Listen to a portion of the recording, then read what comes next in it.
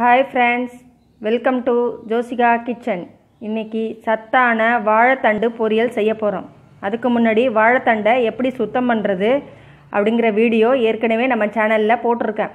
அதோட லிங்க்கை கீழே டிஸ்கிரிப்ஷன் பாக்ஸில் கொடுக்குறேன். தேவைன்னா பார்த்துங்க ஏற்கனவே நம்ம சேனலில் வாழைத்தண்டு சூப்பு செஞ்சுருக்கோம். அதில் வாழைத்தண்டின் பயன்களும் வாழைத்தண்டு சூப்பு எப்படி செய்யணும்னு சொல்லியிருக்கேன். அதோட லிங்க்கையும் கீழே டிஸ்கிரிப்ஷன் பாக்ஸில் கொடுக்குறேன். தேவைன்னா பார்த்துங்க. தேவையான பொருட்கள். வாழைத்தண்டு ஒரு கப் பொடிசாக கட் பண்ணி தயிரில் போட்டு வச்சுருக்கேன். ஆனியன் தேங்காய் திருவல்.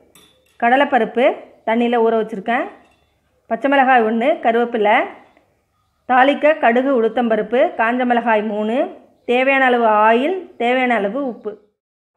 வாழைத்தண்டு பொரியலுக்கு ஒரு பேன் வச்சுருக்கேன். ஆயில் ஊற்றிக்கிறேன் ஆயில் ஹீட் ஆகட்டும். ஆயில் ஹீட் ஆகிட்டு கடுகு உளுத்தம்பருப்பு காஞ்ச மிளகா சேர்த்துக்கிறேன். கடுகு நல்லா வெடிக்கட்டும்.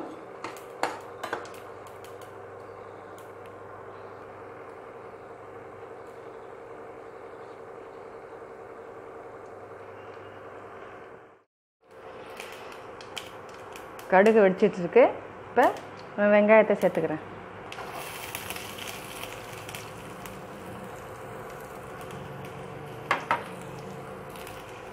பச்சை மிளகா கருவேப்பிலையை சேர்த்துக்கிறேன். வெங்காயம் வதங்குற அளவு கொஞ்சமாக சால்ட்டு போட்டு வெங்காயத்தை நல்லா வதக்குறேன்.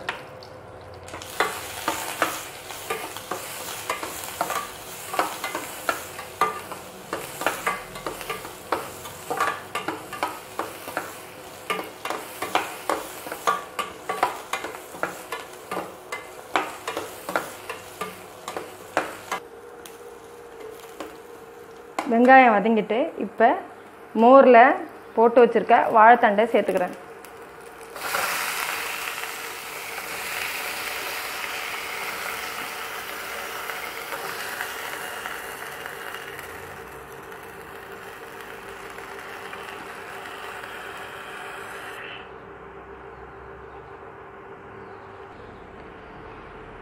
ஊற வச்சுருக்க கடலப்பருப்பையும் சேர்த்துக்கிறேன்.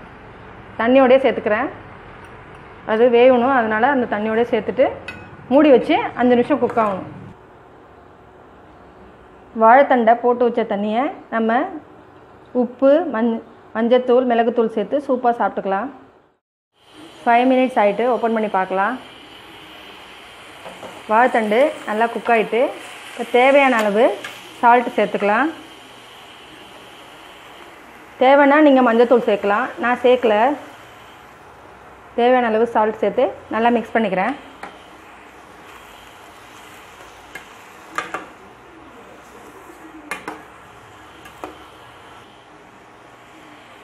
சால்ட்டு நல்லா மிக்ஸ் பண்ணிட்டேன். தேங்காய் துருவல் சேர்த்து மிக்ஸ் பண்ணிக்கிறேன்.